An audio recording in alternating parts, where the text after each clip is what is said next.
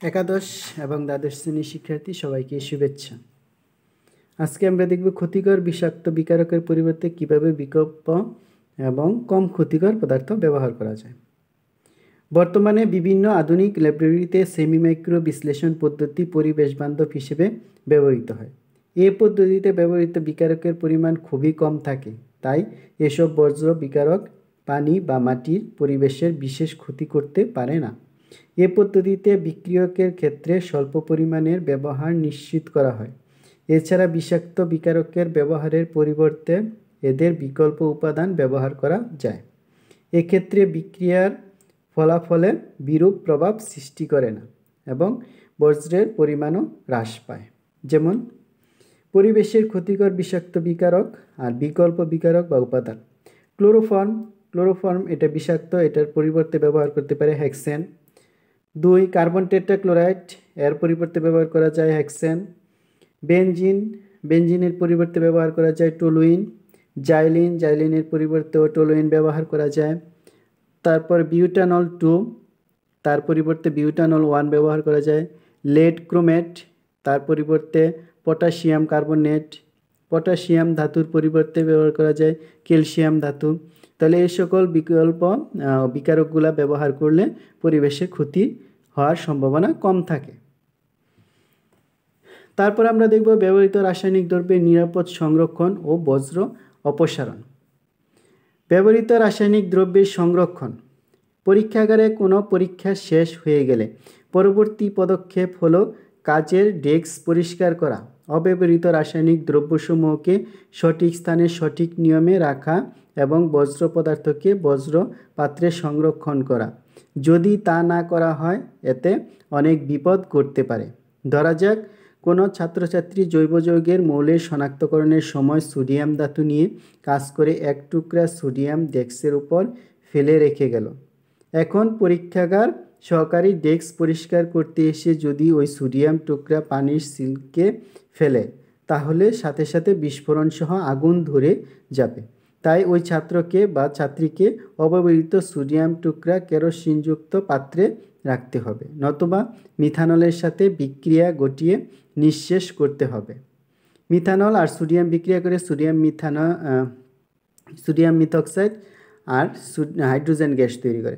অনুরূপভাবে বুলেটে sodium hydroxide দ্রবণ নিয়ে কাজ করার পর অবশিষ্ট সোডিয়াম হাইড্রোক্সাইড দ্রবণ বুলেট থেকে বিকারে করে নিয়ে বুলেটকে পানি দিয়ে ভালোভাবে ধুয়ে পরিষ্কার না করলে বুলেটের স্টপকক আটকে যাবে। উল্লেখ্য, কঠিন সোডিয়াম হাইড্রোক্সাইড বাতাসের সংস্পর্শে পানি শোষণ করে গলে যায়। তাই কঠিন সোডিয়াম হাইড্রোক্সাইডের দানা বা পিলেটকে কাচের বা প্লাস্টিকের বোতলে ভালোভাবে কর্ক দিয়ে রাখতে হয়। যা, এছাড়া সোডিয়াম হাইড্রোক্সাইড কঠিন ও দ্রবীভূত অবস্থায় বাতাসে কার্বন ডাইঅক্সাইড তার সাথে বিক্রিয়া করে সোডিয়াম কার্বনেট তৈরি করে, তাই খোলা অবস্থায় সোডিয়াম হাইড্রোক্সাইড রাখা যাবে না।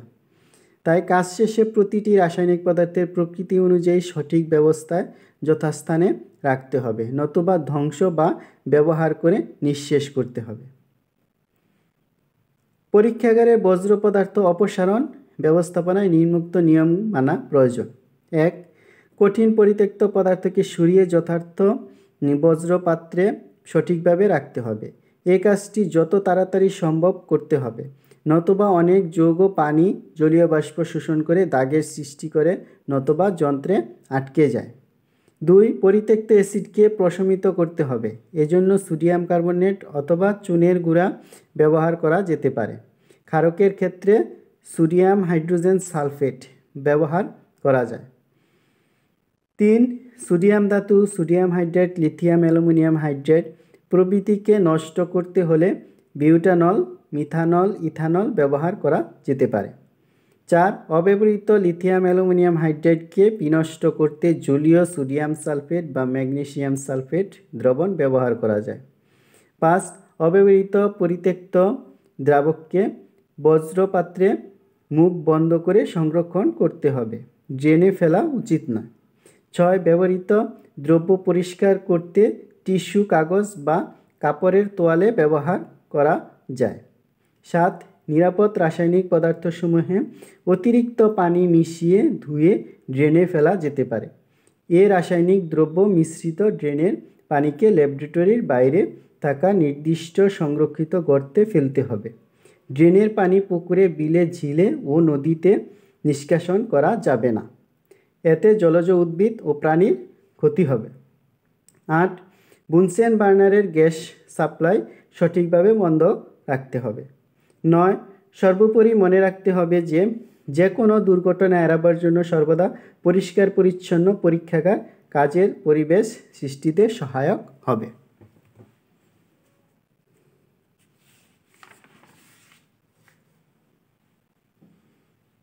পরিবেশের উপর ল্যাবরেটরিতে ব্যবহৃত দ্রব্যের প্রভাব। পরিবেশ বলতে প্রত্যেক জীবের চারপাশে সজীব ও নির্জীব উপাদানসমূহের সমাবেশকে বোঝায়। বজ্র রাসায়নিক দ্রব্যসমূহ পরিবেশের উপর কম বেশি প্রত্যক্ষ ও পরোক্ষভাবে প্রভাব সৃষ্টি করে। কেমিস্ট্রি ল্যাবরেটরিতে প্রতিদিন ব্যবহৃত কঠিন, তরল ও গ্যাসীয় বিভিন্ন গুণসম্পন্ন রাসায়নিক পদার্থ বজ্ররূপে পরিবেশে সহজে মিশে যায়।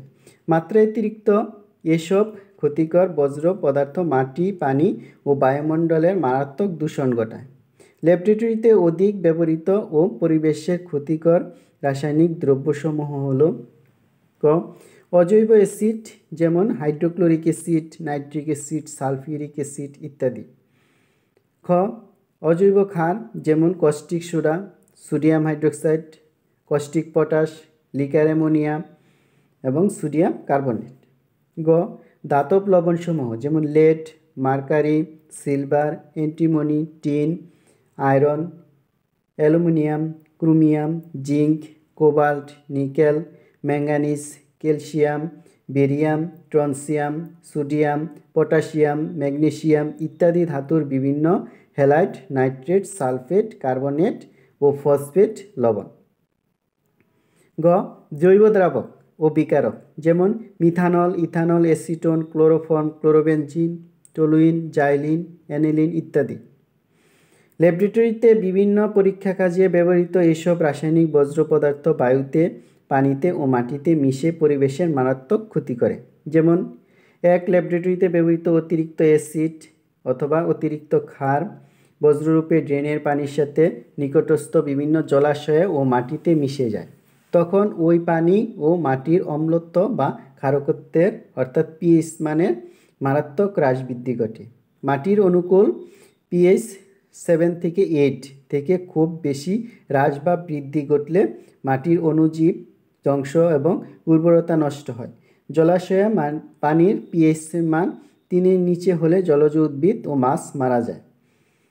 দুই, ভারী ধাতুর আয়ন যেমন lead ion mercury ion cadmium ion chromium ion দ্বারা দূষিত পানি থেকে এসব আয়ন মাছের দেহে এবং দূষিত মাটি থেকে উদ্ভিদ দেহে শোষিত হয়। পরে খাদ্য শৃঙ্খলের মাধ্যমে এসব ভারী ধাতুর আয়ন মানবদেহের চর্বিতে শোষিত হয়ে মারাত্মক রোগ যেমন স্নায়ুতন্ত্র, কিডনি ও প্রজননতন্ত্রে বিভিন্ন রোগ ও ক্যান্সার সৃষ্টি করে। তিন, অনেক উদ্দায়ী জৈব যৌগের বাষ্প বায়ুতে মিশে যায়। এছাড়া রসায়ন পরীক্ষাগারে বিভিন্ন বিক্রিয়ায় উৎপন্ন গ্যাসসমূহ যেমন carbon dioxide, nitrogen dioxide, sulphur dioxide ও হাইড্রোক্লোরিক অ্যাসিড ইত্যাদি অম্লধর্মী গ্যাস বায়ুতে মিশে বায়ু দূষণ ঘটায়। বায়ু দূষণের ফলে শ্বাসযন্ত্রে বিভিন্ন রোগ সৃষ্টি হয়। পরিবেশ ও স্বাস্থ্যের উপর ল্যাবরেটরিতে ব্যবহৃত রাসায়নিক দ্রব্যের প্রভাব। রাসায়নিক ল্যাবরেটরিতে বিভিন্ন প্রকার অ্যাসিড শক্তিশালী ক্ষার স্বাস্থ্যের জন্য ক্ষতিকর। বিভিন্ন ধাতুর লবণ, বিভিন্ন জৈব দ্রাবক ব্যবহৃত হয়। ল্যাবরেটরিতে এগুলোর অতিরিক্ত ব্যবহারের ফলে তা কোনো না কোনোভাবে পরিবেশ পরিবেশে ছড়িয়ে পড়ে এবং উদ্ভিদ ও প্রাণীদেহে প্রবেশ করে। এ, এর ক্ষতিকর প্রভাব দীর্ঘমেয়াদী। ল্যাবরেটরিতে এদের অতিরিক্ত ব্যবহার সম্পর্কে সচেতন হওয়া প্রয়োজন। ভারী ধাতু ধাতুর ion, lead ion mercurous ion cadmium ion প্রাণীদেহে প্রবেশ করলে প্রাণীদেহের এনজাইমের কার্যক্ষমতা বিনষ্ট হয় এবং সাথে সাথে শরীরে বিষক্রিয়া ঘটে। বিভিন্ন ভারী শিল্প কারখানা যেমন চামড়া শিল্প ড্রাইং শিল্প, কাগজ রেয়ন সার ইত্যাদি শিল্পক্ষেত্রে ল্যাবরেটরিতে পরিবেশের উপর মারাত্মক ক্ষতিকর উপাদানের ব্যবহার হয়ে থাকে।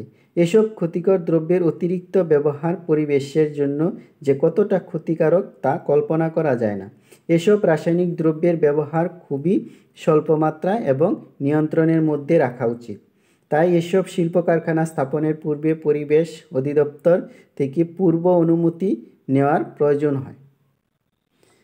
এখন আমরা দেখব কিছু রাসায়নিক পদার্থের স্বাস্থ্যের উপর প্রতিক্রিয়া এবং পরিবেশের উপর প্রতিক্রিয়া। তো রাসায়নিক দ্রব্য হাইড্রোক্লোরিক অ্যাসিড, এটা স্বাস্থ্যের উপর। হাইড্রোজেন ক্লোরাইড গ্যাস মারাত্মক বিষাক্ত এবং অ্যাসিড হিসেবে ত্বক ক্ষয়কারী। মুখ, গলা, শ্বাসনালীতে প্রদাহের সৃষ্টি করে। হাইড্রোজেন ক্লোরাইড গ্যাস বেশি গ্রহণ করলে মৃত্যু পর্যন্ত হতে পারে। পরিবেশের উপর প্রতিক্রিয়া, হাইড্রোক্লোরিক অ্যাসিড একটি সরল সবল অ্যাসিড। এটি পানিতে পূর্ণভাবে আয়নিত হয়ে পানির পিএইচ মান দ্রুত হ্রাস করে, ফলে জলজ উদ্ভিদ ও প্রাণীর ইকোসিস্টেমের মারাত্মক ক্ষতি করে।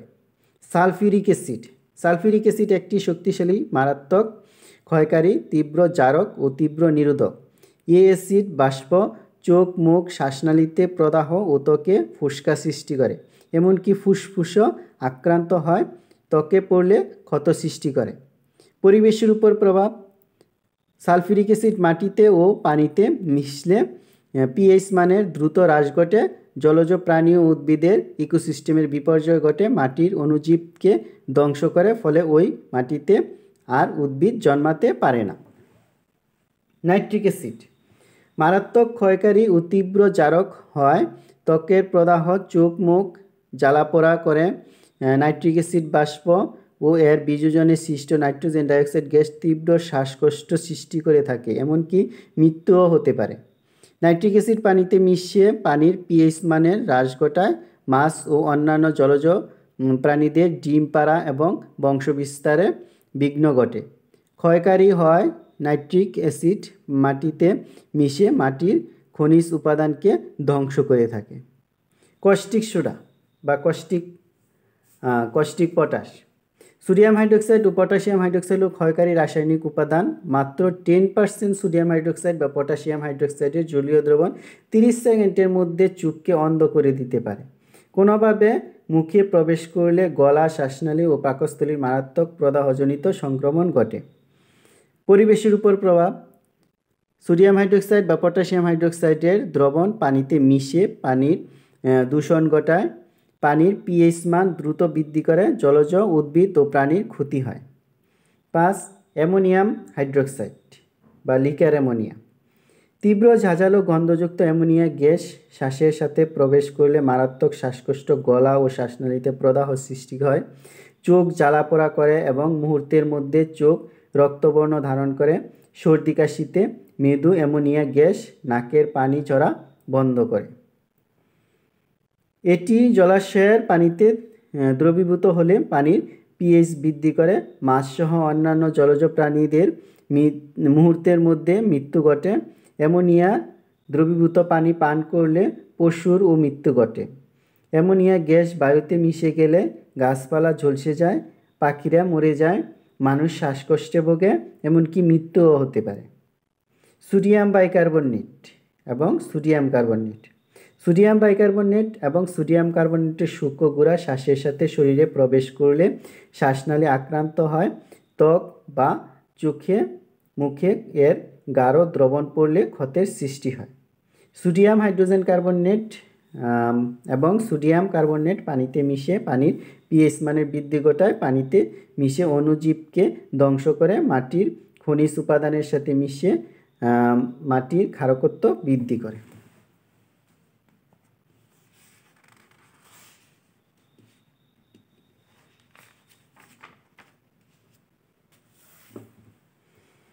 Potassium permanganate. পটাশিয়াম পারম্যাঙ্গানেট হলো একটি তীব্র ক্ষয়কারক জারক ও বিষাক্ত উপাদান। এটির গাঢ় দ্রবণ শরীরের ত্বকের সংস্পর্শে ক্ষতের সৃষ্টি করে, পেটে গেলে ডায়রিয়া হওয়ার সম্ভাবনা শতভাগ। এর প্রভাবে কিডনি সম্পূর্ণ নষ্ট হয়। এ পরিবেশের উপর প্রভাব, এটি দ্রবীভূত অবস্থায় পানির ডিউয়ের পরিমাণকে মারাত্মকভাবে হ্রাস করে, ফলে মাছসহ অন্যান্য জলজ প্রাণীর বেঁচে থাকা কষ্টকর হয়।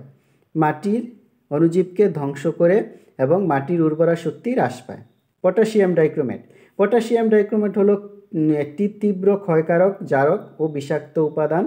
ত্বকের সংস্পর্শে ক্ষতের সৃষ্টি করে, পেটে গেলে ডায়রিয়া হওয়ার সম্ভাবনা থাকে। পরিবেশের উপর প্রভাব। এটি দ্রবীভূত অক্সিজেনের পরিমাণকে হ্রাস করে, ফলে মাছসহ অন্যান্য জলজ প্রাণীর বেঁচে থাকা কষ্টকর হয়।